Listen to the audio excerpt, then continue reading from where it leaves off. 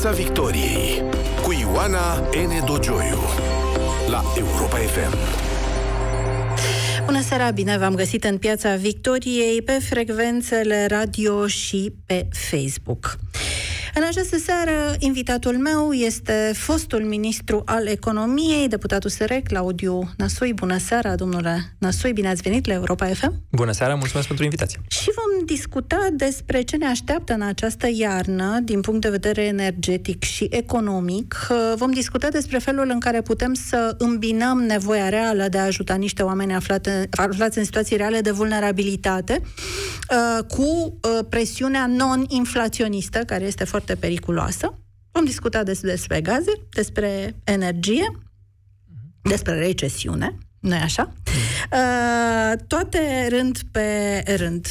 Domnule Nasui, vine o iarnă în mod evident dificilă cât de dificilă vom vedea, depinde și de temperaturi, desigur. Uh, Comisia Europeană caută soluții comune. Uh, a venit ultima propunere lansată de Ursula von der Leyen, spunea, venea cu ideea unei uh, achiziții comune de gaz, dar N-au reu- nu s-a reușit acordul pe plafonarea prețului la gaz, de care se tot vorbește de, de săptămâni de zile. Am ajuns la cât de cât o soluție sau este apă de ploaie? Mi-e greu să zic că e, că e chiar apă de ploaie. Um, eu pot să zic că nu mi se pare că ne apropiem de soluția care ne va scoate din, din criza energetică prin care va trece Europa iarna aceasta, deci nu mă refer numai la, numai la România. Uh, pare că la nivel european țările au început chiar să-și vadă mai degrabă interesul propriu. Și asta este un lucru care s-a mai întâmplat în cadrul Uniunii Europene. Dacă mai țineți minte, s-au mai fost niște momente când tocmai solidaritatea aceea mult clamată europeană n-a mai fost atât de, atât de vizibilă. Și culmea e că țara care una dintre țările, dacă ar fi să dăm vina pe cineva, și nu asta ar trebui făcut acum, dar na, cine, unii oameni au susținut Green Deal-ul mai mult decât alții, hai să și unele țări mai mult decât altele, să, să punem problema în felul acesta, și unele țări și-au redus producția de energie mai mult decât altele. Și acea țară este Germania. A, și culmea ironiei este că, deși Germania a avut o politică energetică care pe care mie nu mi-a plăcut niciodată, întotdeauna am considerat-o greșită. Nu cred că politicile energetice trebuie să mandateze tehnologia anume. Adică și cărbune, avem nevoie inclusiv de cărbune, știu că nu o să placă lucrul acesta la, la ecologiști, uh, dar trebuie ca costul poluării să fie luat în calcul în, în preț, prin faimoasele certificate de carbon. Apoi, că aceste certificate de carbon au fost folosite mult prea restrictiv, au fost emise mult prea puține de către Comisia Europeană, tocmai ca să le scumpească enorm de mult, uh, și să închidă centralele pe, pe cărbuni, asta e altă problemă. Um, dar iarăși, eu cred că trebuie politicile să fie uh, technology neutral, s-ar numi. Lucrul ăsta n-au fost. Au închis și nuclear, au închis cam orice alternativă la gazul rusesc era demonizată. Și lucrul acesta s-a întâmplat și la ei și la noi. Pentru că același lobby rusesc a acționat peste tot și a acționat într-un mod coerent, dacă mă întrebați pe mine. Nu, nu am o dovadă concretă, doar este un lucru așa, un, un fir roșu pe care îl vezi trasat în mai multe țări, la mai mulți politicieni, în Franța chiar destul de pe față, pentru că deci sunt fix politicienii care sunt uh, Nu favorizați ideea de eroare strategică, ci de joc de interes... Uh... Da, cred că uh, lobby-ul rusesc, Gazpromul, cred că și-a văzut interesul în, în Europa, a găsit idioți utili, termenul deja începe să fie din ce și mai folosit, era folosit și în timpul războiului rece pentru cei care erau comuniști din convingere. Ei chiar credeau în socialism și uh, cred că au existat și acum în Europa uh, pe partea aceasta ecologistă. Atenție, și eu sunt ecologist în sensul că îmi doresc un mediu cât mai curat. Dar dacă vă uitați puțin, tocmai țările capitaliste sunt cele care au un mediu mai curat, nu țările socialiste. Uh, lacul Baikal, uh, Cernobâl, toate dezastrele astea ecologice s-au întâmplat în țări socialiste, tocmai că nu le păsa de mediu, nu aveau conceptele astea de proprietate, că poluezi pe cineva, că cineva va fi deranjat de lucrurile acestea și așa mai departe. Uh, deci eu cred că prima greșeală a Europei a fost Green Deal-ul, mult prea dur, um, și apoi a venit războiul din Ucraina, și acum avem o situație în care Germania are capacitatea să se îndatoreze, pentru că, deși a greșit energetic, financiar n-a greșit. Germania a avut și excedent, și-a ținut în frâu deficitele uh, și atunci acum au o capacitate de a se îndatora foarte mare și vor să dea 200 de miliarde de euro, o sumă absolut colosală, deci cât, aproape cât PIB-ul României, uh, ajutoare pentru a trece de iarnă. Și asta ce înseamnă? Pe o piață în care energia e finită, deci avem aceiași kilovați care se plimbă prin, uh, prin Europa, uh, consumul e mai mare, deci unii oameni nu vor primi, asta e absolut clar, E, și cine primește sunt cei care dau mai mult. Și unii au 200 de miliarde în plus ca să liciteze pe acești kilovați. Ceea ce înseamnă în Germania vor merge mai mulți, evident, nefericire în restul Europei, uh, francezii, italienii care sunt extrem de îndatorați. Ce înseamnă unii oameni vor primi? Dacă avem 100 de kW și nevoie de 150, e fizic, Bun. 50 50 de kW nu vor putea ce fi folosiți. Ce beznă, fric, ce-mi spuneți? Înseamnă preț mare, care va selecta exact oameni care să nu folosească energie electrică. A început deja în România. Când vedeți al Roslatina că se, că se închide, când vedeți Azomureș din cauza gazului, Bun, asta când este vedeți partea toate industrială, astea. dar pe partea de consumator se va aplica sau partea de consumatori Atenție. casnici vor fi mm. uh, Depinde de politicile protejați. statului. Dacă ar face ceea ce am susținut noi în USR-ul, anume să reducă prețul și să dea un voucher pentru fiecare consumator casnic de 1000 de lei care să-i garanteze că poate să consume. Asta înseamnă că, practic, în alocarea aceea de resurse pe care o face piața, și aici e foarte important, de ce e prețul mare? Că nu, prețul nu ține cont de costul de producție. Dumneavoastră, dacă faceți un Rembrandt sau faceți o, o, o pictură, poate uh, vopseaua pe care o puneți pe, pe pânză nu o să coste atât de mult. În schimb, rezultatul finit poate să vândă cu milioane sau, mă rog, depinde la cât, uh, la cât e evaluat. Uh, deci, valoarea nu este un lucru care să ți-l dea costurile, ci cererea și oferta. Cererea, sigur e, că da. Cererea e mare, oferta e mică. Aici, aici este, de fapt, singura soluție ca să ieși din marasm. Producție mai multă. Să, să, să produci mai mult și e partea aceea de economisire. Prețul le face pe amândouă. Un preț mai mare înseamnă și parte de economisire, că te costă mai mult, și parte de uh, stimularea producției.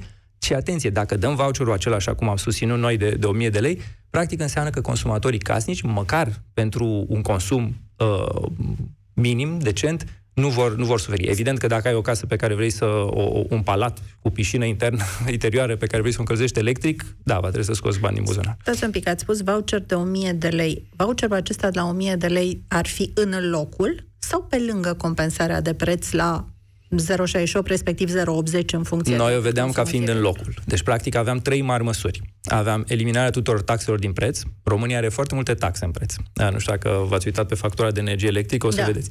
Uh, certificatul verde, care de fapt e o schemă de subvenție locală cea mai generoasă din Europa, o, o chestie greșită din toate punctele de vedere, sau din multe puncte de vedere. Uh, avem așa subvenție de cogenerare, avem acciza, și avem TVA-ul de 19%, care ar putea foarte bine fi 5%, adică minimul european. Da, deci să, lucrurile acestea le-am un propus. exemplu concret, cel care are contractul cu 0,22 uh, de lei la hidroelectrica, plătește, ajunge să plătească pe kilowattoră, de fapt prețul final 0,78. Sau 78, da. da. da. Adică fo- foarte, foarte... Da, uh, deci, atenție, niște costuri, niște costuri în plus e normal sferturi. să fie. Distributorul și transportatorii da, da, fac ceva. 3 sferturi este prețul mai mare, da. într-adevăr. Da. Și atunci, uh, practic, soluția noastră era în felul următor. Așa. Nu afectezi uh, prețul, ajuns consumatorii casnici și ajuns și firmele prin a le da un credit fiscal în valoare de jumătate din creșterea facturii de energie electrică. Adică, de exemplu, dumneavoastră aici la Europa FM, a crescut factura cu 20.000 de lei, 10.000 de lei plătiți mai puțin impozit din cât, aveați, uh, din cât aveați de plată. În felul ăsta e nebirocratic, nu trebuie să faci o schemă de ajutor de stat, să te duci să demonstrezi nu știu ce, se aplică direct fiscal, uh, firme fantomă sau alții care ar vrea să țepuiască sau așa, nu fac profit, nu au impozite de plătit, nu au niciun beneficiu, adică sunt multe, multe avantaje. Uh, și noi ce am mai propus este și pentru casnici acest voucher de, de 1000 de lei, care să fie ca un, o limită, practic, în care poți să consumi. 1000 de lei ai, pe cât? Pe consumator, pe, pe consumator casnic. Pe o lună? Pe lună sau pe cât? Pe, de acum și vă dați seama că facturile nu sunt de 1000 de lei multe Nu, pe, câte, ele. pe ce perioadă? Îi creditezi contul persoanei respective la furnizor cu 1000 de lei, din care apoi fiecare lună 1000 de lei scade. pe 6 luni, pe cât, pe, pe cât e creditarea? Ah, pe, pe, pe viață. Păi și, și când se... termină? E, atunci, în, moment, în momentul acela, poți să spui întrebarea dacă mai e nevoie să dai sau dacă a trecut iarna cu bine, dar noi credem că a trecut, va fi trecut iarna cu bine. Pentru că, până la urmă, măsurile acestea trebuie să fie unele temporare, atenție. Tocmai pentru că ce ar trebui să se întâmple pe termen mediu este repornirea producției. Bun, acum, uh, plus soluția pe care ați anunțat-o de mult, ca de reducerea TVA-ului, ați invocat-o și acum. Acum, sunt niște întrebări standard în situația asta. Odată, ați calculat, ați făcut un impact bugetar, ați făcut un calcul de impact bugetar? Absolut. Și l-am calculat, vă zic și cum. L-am calculat în așa fel încât să fie mai mic decât impactul măsurilor declarate de, de către guvern. De compensare. De compensare, exact. Adică, practic, noi am spus, ok, bun, deci dacă măsurile voastre costă atât, ne vom calibra, pentru că înseamnă că avem banii dacă, dacă voi o faceți așa, ne vom calibra ca să, ca să facem și noi uh, în, în același fel. Diferența crucială între ce fac ei și ce facem noi este că la noi nu se pot îmbogăți niște băieți deștepți. Și asta este un lucru care se întâmplă cu, cu schema actuală. La gaz. Și iarăși nu, nu dispare nici stimulentul de economisire, nici stimulentul de investiție, care e foarte important să rămână. La gaz ați avea vreun voucher sau ar fi vorba numai de scăderea de TVA? Nu, e tot în, aceeași, în același fel. Am procedat și la gaz. Cu 1000 de lei? Da. 1000 de lei. La consumator casnici, atenție. Bun, acum eu vă dau un exemplu. Cât se poate de concret. O casă în care stau, o locuință în care stau 5 persoane, chiar 6, care a avut uh, o factură concretă anul, în iarna trecută de 4.000 de lei la gaz, din care a plătit numai în jur de 2.000 de lei în virtutea compensării. Păi, odată că dacă îi scădeți TVA-ul, îi scădeți cât îi scădeți? Vreo 800 de lei din factură, deci ajungea la o factură de 3200 de lei, iar într-o lună se ducea compensarea voucherul, se duceau trei vouchere. Eu am, deci eu am omis să vă mai zic rău. un lucru. Eu am omis să vă mai zic un lucru. Uh, pachetul nostru mai include, de asta era o parte centrată pe energie, dar în momentul când l-am depus, mai include un lucru. Anume să începem o faimoasă reformă pe care noi am susținut-o în, în campanie electorală și anume reducerea impozitării muncii. Și atunci, dacă erau, de exemplu, în cazul acesta, nu știu câte persoane lucrau sau primeau un salariu. Păi să zicem, uh, o familie cu doi părinți, trei copii și o bunică. Uh, da? Asta înseamnă, dacă aplicăm măsura pe care noi am denumit-o zero taxe pe salariu minim, în sensul care toate taxele să fie calculate de la nivelul unui salariu minim în sus, adică, practic, valoarea unui salariu minim să fie deductibilă, uh, ca, ca deducere din, din baza impozabilă, asta înseamnă 1000 de lei în plus per persoană. Deci, la două persoane care muncesc înseamnă 2000 de lei în plus. Și și Practic, cu tot cu voucherul acolo. de 1000 de lei care era pe toată perioada, într-o lună, și tot acolo, acolo ajungem, nu? Ajungeți da. chiar, cred că mai bine. Și mai e un lucru, că reducerea impozitului, că asta contează foarte mult. Pe lângă calculul contabil, trebuie să ne uităm la ceea ce s-ar numi calculul economic, în sensul care sunt stimulentele omului. Dacă aplicăm plafonarea aceasta de la gaz, care este acum, cineva care are o piscină interioară în Snagov, își va încălzi piscina plafonat are zero interes să economisească. Deci, practic, într-o perioadă în care ai gazul care e foarte rar și deci ar trebui să fie foarte scump, n-ai absolut niciun fel de stimulant să, să investești. Da, e adevărat, numai deci, că știți, în România uh, sunt foarte multe locuințe care, consumă, care au consumuri uriașe, nu pentru că încălzesc piscine, ci pentru că sunt neizolate termic. Bun. Și a, Ceea ce costă foarte mult să o faci individual. Sunt, atenție, aici sunt, vorbim deja de, de, de măsurile pe termen mediu. Nu, adică dar pe, pe termen, termen scurt am o locuință neizolată pe, pe care o încălzesc scurt. pe gaz, îmi vine, factura era 4.000 de lei, așa am plătit 2.000 de lei, dar pe, dacă atenție, pe termen scurt, pe termen scurt nu putem face decât modificări legislative. Și uh, vă, vă mai spun un lucru aveam problema aceea de care am zis mai devreme. Prea puțin kilovați pentru câți oameni vor acei kilovați. Da. Și la gaz este similar, da, doar că hai să luăm cazul, cazul energiei. Uh, pe termen scurt n-ai să ai mai, mai mulți kilovați. Dacă uh, subvenționezi, plafonezi, uh, taxezi, suprataxezi, faci orice, aceiași kilovați sunt. Aceleași centrale îți produc la fel de mult, prea, mult, prea multă cerere pentru cât o ofertă este. Deci tot ce poți să schimbi alocarea acelor kilovați, unii oameni nu vor avea. Pe termen lung, ce poți să faci este izolări, producție, Dar numai investiții. că iarna e aici. Asta zic. Păi asta zic că acum, deocamdată, vorbim, suntem în situația cu cuțitul la os în care ne gândim la soluțiile de termen scurt. Și cum dar atenție, fa- dar trebuie ca aceste soluții de termen scurt să nu-ți compromită soluții de termen lung. Pentru că dacă, de exemplu, plafonarea uh, gazului uh, pentru cineva care are totuși uh, un consum pe care și l-ar putea reduce și nu și-l reduce, că nu are niciun motiv să o, să o facă, ar putea să investească în, în, în izolare. Iarăși, îi schimbă stimulentul. Nu o să, pur și simplu, nu o să mai, n-o să, n-o să mai aibă niciun interes să investească. Și asta e avantajul soluțiilor USR, că nu-ți schimbă stimulentele, adică ajută oamenii menține faptul că nimeni, sau în principiu nimeni nu suferă, deci este o schimbare pareto optimală, fie și la fel, fie și mai bine, fără să-ți schimbe stimulentele corecte. Domnule ministru Năsui, dar cum ați face ca micșorarea de TVA pe care o propuneți să nu fie înghițită foarte repede de scumpiri, pentru că nu e așa, ne aflăm într-o zonă în care cererea, raportul cerere oferă, ofertă dictează, cererea e foarte mare, prețul se duce în sus, nu e nicio problemă, vă înghite imediat reducerea de TVA. Atenție, e, e, întrebarea e dacă mai aruncăm gaz pe foc sau nu. Adică, practic, TVA mare și taxe în plus, sau mâine dacă dublează guvernul TVA-ul pe, pe energie, presupunând că ar face așa ceva, nu ar face decât să uh, arunce gaz pe foc. Deci noi am zis, prima, primul pas e mai întâi, e ca la, în jurământul lui Hipocrat. Mai întâi nu fă rău. Noi acum facem rău. Statul român face rău. Asta este, asta este toată Asta e neîndoielnic. Se vede că face rău. Întrebarea este dacă soluțiile sunt realiste, pentru că pe spațiul ăla pe care îl lasă cele 14% pe care le scădezi din TVA, nu? Atenție, statul, de la statul, 19 la 5, nu? Statul a, a, a, s-a îmbogățit ca urmare a celor procente. Noi și-am, și am mai propus un lucru. Am zis, nu vreți 5%? Bine, Haideți să vedem cât cresc încasările statului ca urmare a exploziei prețului, pentru că cresc proporțional, și să ne menținem pe cât au fost ele bugetate inițial, TVA-ul din bugetul inițial pe 2022. Deci puteam să facem și lucrul acela. Deci, atenție, statul nu, nu pierde. Dacă vă uitați la ultima rectificare bugetară, veți vedea că și-a crescut cheltuielile cu aproape 30 de miliarde de lei, cu 27 de miliarde de lei. Cresc iarăși cheltuielile statului. De ce? Pentru că pe partea de venituri apar venituri în plus. E de adevărat, ce? Din da, cauza energiei. Dar ne, ne ajută foarte mult uh, și uh, inflația, pentru că și inflația aduce bani în plus uh, uh la buget. Ați scris un uh, editorial pe Spot Media în urmă cu aproximativ două săptămâni, în care vorbeați ceea ce, despre ceea ce spuneți și acum, despre fiecare, cum fiecare țară își urmărește propriul interes național. Care ar trebui, cum ar trebui să-și urmeze România? Că dacă toți își urmează interesul, care ar trebui să fie interesul României? Ați fost și ministrul economiei, cred că Puteți Aici cred că putem vorbi până mâine, dar haideți să, să o luăm haideți foarte... să vorbim da, în câteva minute doar. Da.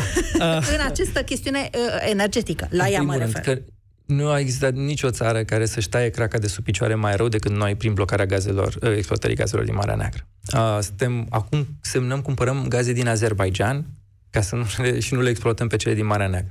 Și aici este, sunt vinovate ambele uh, partide, mari partide din ceea ce numesc eu chiar clasă politică. PSD-ul le-a blocat, mai ține în minte, în 2018, dar de când este un ministru care, chiar și la audierile prin care a fost pus prima oară ministrul la ceea ce se numea economie uh, în primul guvern Orban, a promis că deblochează, nu au deblocat lucrurile până nu a cedat uh, Exxonul uh, licența către, către Romgaz și acum eu sunt dispus să pariez că lucrurile sunt blocate și vor fi blocate mulți ani de acum încolo, uh, când ei puteau să înceapă foarte repede investițiile. Piața Victoriei la Europa FM. Invitatul în Piața Victoriei în această seară este fostul ministru al economiei, domnul uh, Claudiu Năsui, deputat USR. Uh, Bun, uh, ați spus că Green Deal a fost o problemă. Pe partea asta, cum ar trebui să ne vedem interesul național? Ar trebui să facem mai multă energie pe cărbune? Ce ar trebui să facem? Ar trebui uh, să, să facem ceea ce au făcut și de altfel europarlamentarii noștri, adică să nu susținem închiderea gazului, ceea ce, ce s-a întâmplat, ar trebui să susținem nuclearul, ceea ce iarăși s-a întâmplat. Acum toată Europa pare aliniată, deci înainte lucrurile acestea erau dezbateri care erau polarizante. Acum pare că dezbaterile uh, s-au, s-au încheiat și lumea înțelege necesitatea producției de, de energie electrică în afară de, de, să zicem, niște cazuri mai extreme. Uh, da, ar fi trebuit să, să apărăm lucrurile acestea pentru că um, eram o țară producătoare de uh, care înainte chiar exporta, acum suntem net importatori, de câțiva ani suntem net importatori de energie electrică uh, și ar fi trebuit în țară să putem și noi să, să, să, să nu descurajăm, că aici este asta pe partea europeană. Pe partea din țară ar fi trebuit să încurajăm cât putem investițiile. Fix ce n-am făcut, din potrivă. Noi am descurajat investițiile s-au făcut foarte puține investiții în, în producția de energie electrică. Partea aceasta de verde a mai mers, mai ales ca schema aceea din certificate verzi, care ne costă foarte mult kilovatul pentru cât, pentru cât ne-a costat și pe care o plătim la factură, apropo de aruncat gaz pe foc. Uh, și pe partea aceea a, fost, a mai fost o, o investiție a OMV la, la Brazi. Au făcut o centrală care este uh, na, făcută de, de ei. Acum reprezintă aproximativ, cred că 10% din, din ce se din ce se produce. Deci, practic, uh, noi ce trebuia să facem este să, să, să menținem un climat cât mai favorabil pentru producție în, în toată Europa și implicit și la noi. Să nu fim atât de... Uh, să împingem atât de puternic o agendă, un Green Deal care pentru țările bogate, pentru țările cu capital mare, cu capital mult, pe ele, ele pot rezista, dar țările mici, cele din Europa de Est, nu. Și asta, de fapt, se vede și acum. Uh, se va vedea la ea. Care este situația? Că acelei ordonanțe, ultima ordonanță, ordonanța la 1 septembrie, cu ultimele măsuri, cred că 11 modificare a... 119. Da, așa, ordonanța 119. Care este situația cu ea? Pentru că de acolo se așteaptă niște, niște rezolvări pentru anumite categorii care n-au fost prinse în prețul compensat. De exemplu, cei care au aparate medicale de care depind, uh, cei care au avut anul trecut un consum uh, peste 300 kW mediu și uh, care s-au trezit în fața unui indicator despre care când s-a consumat mm. el acel indicator, mm. ei nu știau că va fi indicator, ceea ce este o neconstituționalitate mm-hmm. flagrantă, este o aberație perfectă. Care este situația acelui ordonanțe în acest moment? A trecut de Senat total disfuncțională, deci a trecut de guvern disfuncțional, acum Bun, a trecut și de senat disfuncțională. Bun, acum senatul de multe ori în România, nefiind cameră decizională, își permite să uh, vrei plafonare. Hai și tu plafonare. Și tu vrei plafonare. Hai și tu plafonare. Adică, practic, n-au, n-au nicio problemă. Au pus inclusiv lucruri care sunt total neoperaționale, de tipul să aibă, dacă au trei copii și merg toți la școală, atunci să fie plafonare. Sau... Uh, evident că lucrurile acestea și, slavă Domnului, sunt de multe ori aranjate la cameră, adică uh, filtrăm toate Când? astea așa. Asta depinde 100% de de majoritatea... De acord, dar aveți da. un... Nu am. Aveți un, indica, un indiciu când Din s-ar putea păcate, încheia această epopee? Din păcate nu am, știu că sunt probleme inclusiv cu aplicarea ordonanței care este în vigoare acum, adică practic Evident. inclusiv ea în forma inițială care trecut de guvern e, e, e problematic, mulți furnizori ies de pe piață și ce este de fapt ceva interesant dacă vă uitați, că uh, ați zice că domnul Virgil Popescu nu are aur în, în suflet, nu? Adică partidul aur. Și Am dacă înțeleg. vă uitați așa, retorica aur era tocmai asta. Haideți să naționalizăm. Ori problema lor, problema în energie, că mai tot ce contează e deja de stat. 80% din producție e de stat, transportatorul e de stat, distributorii sunt de stat, dar sunt concesionați la niște privați. Singura parte care nu era de stat era furnizarea. Da? Adică, practic, hârțogăraie. Cine face de factura, cine îți face contractul, și niște chestii care, de fapt, nu... E, aia sunt demonizați pentru că ei fac factura, Uh, bine, unii, pe, unii au unii făcut prostii bune, și, uh, atenție, când nu, ți se modifică de 11 ori softul n-ai cum, n-ai, cum, n-ai cum. Deci și orice soft poate. în lumea asta o să-ți dea erori și când e, când e totul nu, stabil îți dea erori, dar aminte când se schimbă toate lucrurile așa, da, bun, așa. Și, practic, soluția lor este o mare, de fapt, naționalizare a furnizării, adică exact discursul, discursul aur. Pentru că, dacă vă uitați la ce se întâmplă, au pus acea Uh, plafonare, deci practic înainte, uh, furnizorul era compensat între prețul real, prețul de pe piață și prețul plafonat cu care vinde la, la consumator. Deci cu între cât cumpără și cât vinde consumatorul. Ei au zis că, a, chestia asta te compensăm doar 1300. Uh, cred că a fost un furnizor care a pus puțin în bătaie de joc pe Opcom ofertă de cumpărare la 1300, pentru că poți să pui ce vrei acolo. Evident că n-a vrut nimeni să-i vândă la, la 1300 cât ar fi fost uh, prețul, prețul compensat. Uh, și atunci ce se întâmplă este că ies de pe piață pur și simplu este pe piață și cred că ideea lor este să rămână aici. Dar este e o speculație o în baza... Națională. Da, e speculație în baza acțiunilor lor, să rămână numai hidroelectrica și electrica, care e majoritară de stat, uh, să rămână numai ele pe, pe piață și atunci Practic, Bun, revenim la naționalizare. Chiar și dacă rămân ele pe piață, sunt foarte mulți oameni care se întreabă și care încă nu au înțeles de ce energia produsă de companii de mhm. stat uh-huh. românești uh-huh este la fel de scumpă, dacă nu mai scumpă pe alocuri, în anumite situații, decât uh, în celelalte țări europene. De unde, de ce producem atât de scump? Și de aici, sigur, tentația pe care o livrează și PSD-ul de altfel, să re- re-reglementăm uh, prețul, mm. să Pe, iarăși avem un preț fix. primul rând, pentru că uh, după atâtea intervenții, când, când, când intervii în economie, de multe ori naști distorsiuni pe care nici măcar nu le-ai prevăzut. Și, uh, de exemplu, pe partea aceasta cu uh, băieții deștepți și toate acestea, schema asta falimentare, de plafonare, compensare pe care au implementat-o până acum și care și acum în vigoare, da, na, după a 11 modificare, uh, era destul de ușor de ocolit. Acum, dacă au făcut-o intenționat sau nu, nu știu. Eu i-am interpelat să văd și eu niște lucruri și vă zic de ce. Ei au zis în felul următor. Noi îți facem compensare între cât plafonezi și prețul pieței, uh, dar în schimb facem 80%, 85% impozit pe orice depășește 400 de lei la producător. Da? Ce au făcut producătorii?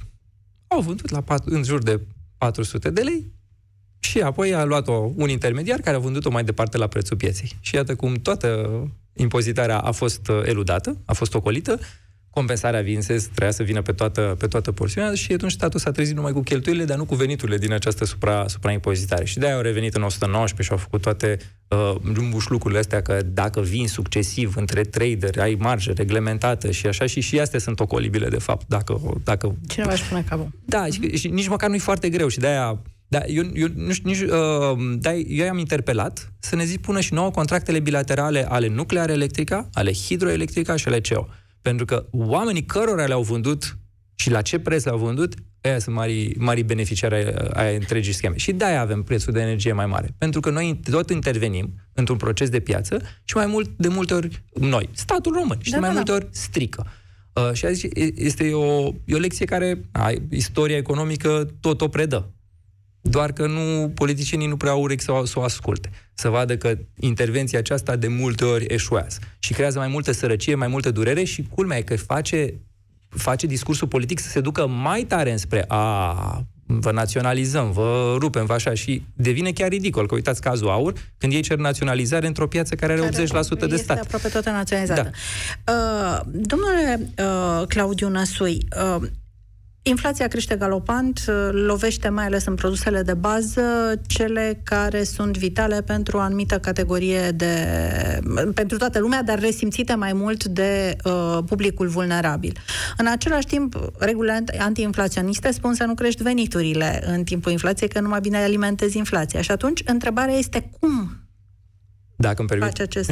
dacă îmi permite să contest o premisă. Nu? Nu e așa? Uh, haideți să luăm... Ce, ce înseamnă inflație? Creștere generalizată a prețurilor. Da. da. Deci avem niște bunuri servicii și avem o masă monetară. Da. Uh, dacă mâine dublăm masa monetară, de exemplu, pur și simplu tipărim banii, îi aruncăm mm-hmm. în piață și, și așa mai departe, ce se întâmplă cu inflația?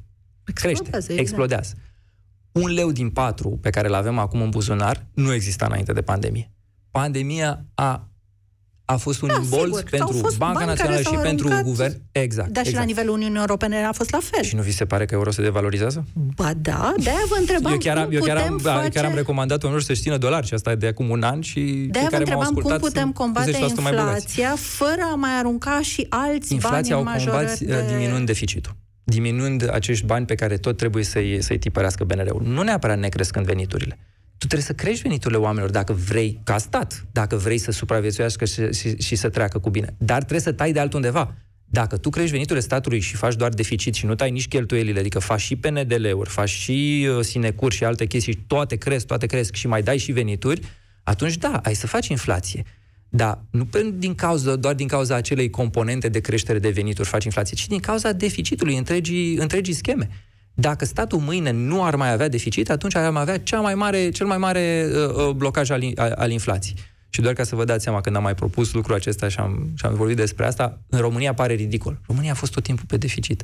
Uh, alte țări mai sunt pe deficit, pe excedent, structural la un excedent, atenție, adică corectat pentru, pentru ciclu de business. Uh, la noi nici e rizibilă ideea, cum adică să fim vreodată pe excedent? Adică nu, asta ar trebui făcut. Dacă vrem să combatem inflația, trebuie spus lucru exact, exact asta. Trebuie să reducem cheltuielile statului.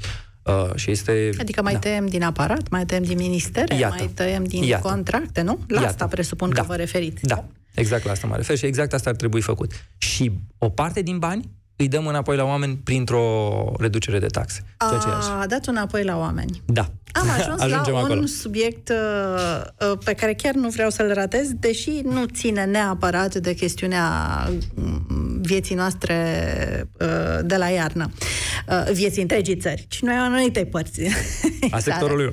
A sectorului 1. V-am văzut cu, recunosc cu surprindere, uh, știindu-vă total uh, nesocialist în viziuni, v-am văzut foarte uh, cu mare surprindere în acea poză, împreună cu doamna Clotilde Armand, când uh, doamna primară sectorul 1 anunța ceea ce foarte mulți, inclusiv eu, dar și foarte mulți jurnaliști, au considerat o măsură populistă, și anume vouchere de 1000 de lei pentru fiecare cetățean al sectorului 1. Și ca să uh, pun în întrebarea mea, ca să uh-huh. chiar să vă rog să răspundeți la anumite lucruri, uh, criteriul este strict de domiciliu, îl primesc și cei care a, din ai căror bani a fost plătit romprestul, dar îl plătesc și cei din al, primesc și cei din al căror bani nu a fost plătit romprestul. De exemplu, un tânăr care a făcut 18 ani anul ăsta sau o persoană care s-a mutat acum o lună în sectorul 1.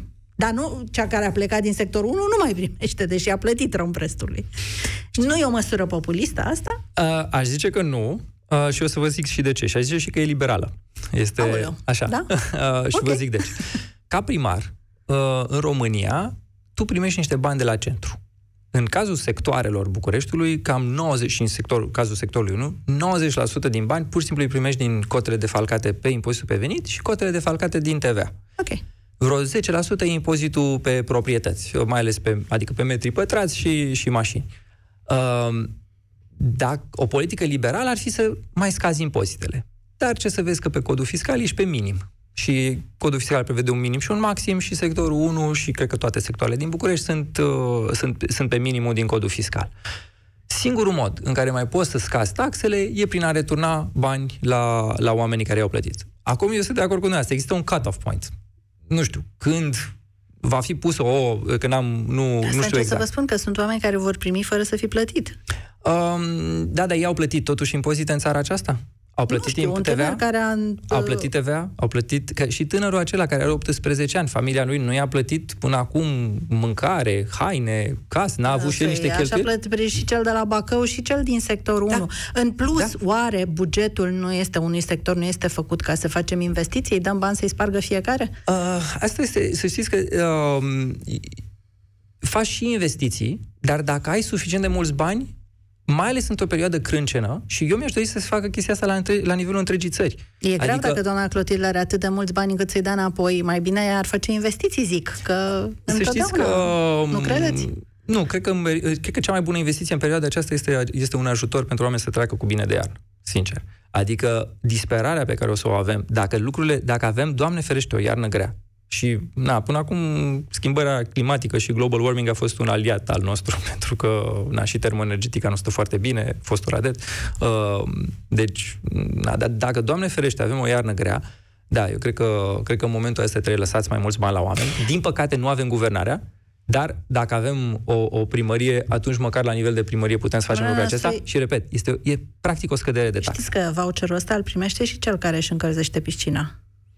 Uh, aici ajungem în altă... În, în, în, aveți dreptate, dar de vă care întreb o spuneați că n-ar trebui vă să zic primească... Un lucru. Același problemă care s-a pus și în Germania, că și Germania a făcut asta la nivel de stat, și în Austria, și Austria a făcut asta la nivel de stat. 500 uh, de euro pe persoană. Da. În ce uh. ziceam de țări foarte bogate care își pot permite chestia asta și care vor deregla da, piața. Atenție, asta ați spus la începutul emisiunii. Da, da, de ce, de ce dereglează piața? Pentru că ele au capacitatea de a se îndatora și dau, și dau păi acolo. sectorul 1 are, sectorul, sectorul 5 are, are mai puțin, uh, primăria din nu știu ce stat are și Mi-aș mai dori puțin. să facă toate, toate, toate, de fapt nu toate primările. Asta trebuie să o facă statul central.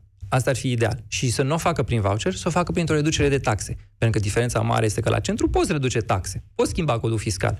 La sectorul 1 nu poți să schimbi codul fiscal în Consiliul Local. Nu poți să faci nici investiții, că asta vreau să vă mai spun. Dar, na, asta e altă, e asta altă este discuție. o altă discuție, da. eu vă întrebam da. de vouchere. Da, uh, doar, doar să vă, să, vă să, să, să spun lucrul acesta, pentru că, că mi se pare... o temă pe care vreau să o abordăm scurt. De-aia am să vă atunci, în esență, ideea este că uh, aceștia, aceștia sunt banii oamenilor plătiți deja în taxe și impozite și singurul mod de a înapoia este acesta. Și cred că este cel mai bun mod pentru a-i ajuta să treacă cu bine de, de iarna aceasta. Asta este, asta este esența și motivul pentru care aș zice să nu se facă discriminatori este că orice clasificare faci, va discrimina pe cineva. Dacă faci pe metri pătrați, de unde știu dacă unul locuiește în mulți metri pătrați versus Singura șapte modalitate în... poate este da. să, să facem investiții cu banii ăștia care să beneficieze toată lumea. Domnule Ansui, suntem pe ultimul minut al emisiunii și vreau să-mi spuneți dacă intrăm în Schengen, din punctul dumneavoastră de vedere, și dacă ar trebui să intrăm în Schengen, din punctul nostru de vedere. Uh, eu sper că intrăm în Schengen, dar nu cred că vom intra în Schengen. Deja? Din cauza legilor justiției. Din cauza unor legi ale justiției care sunt prost făcute, Uh, eu cred că sunt și nu sunt jurist, dar din ce am citit de la uh, Asociația Magistraților pe care le respect, uh, sunt chiar mai proaste decât ce era în timpul erei Dragnea. și dacă cumva intrăm în Schengen, singurul merit este al, al războiului din Ucraina, care cumva a schimbat conjunctura europeană destul de, destul de mult. Dar având în vedere cum a arătat votul partidului domnului Mark Rutte în Parlamentul European, eu sunt sceptic. A fost o abținere. A fost o abținere. A fost suficient. N-a fost chiar împotrivă. Așa. Uh, domnule Claudiu Năsui, vă mulțumesc mult pentru prezența în uh, Piața Victoriei. Uh, dragi prieteni, ne auzim din nou miercurea viitoare. Să fiți uh, sănătoși și să vă meargă bine. Piața Victoriei la Europa FM.